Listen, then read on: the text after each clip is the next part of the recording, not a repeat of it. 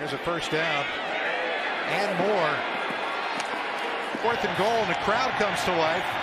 The throw to an open receiver for the touchdown. Jeremy Ruckert could not have been more open.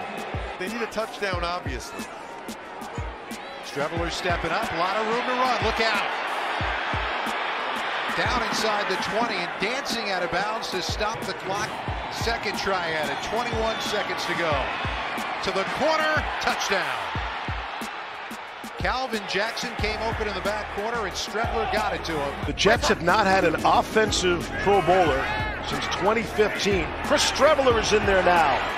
Just able to get rid of it. Um, you know, it just makes it easy on us. It's very quarterback friendly. Uh, I've really enjoyed this opportunity. I'm excited about the season.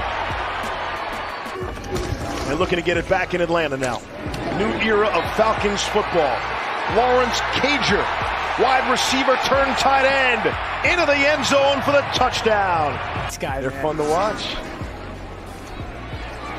Streveler will take off. Good speed, stays in enough. We'll see where they mark him out. Forward if they can have those conversations and make it right. Streveler, end zone, Denzel Mims, touchdown, Jets. Shotgun, Streveler dials it up, Jackson.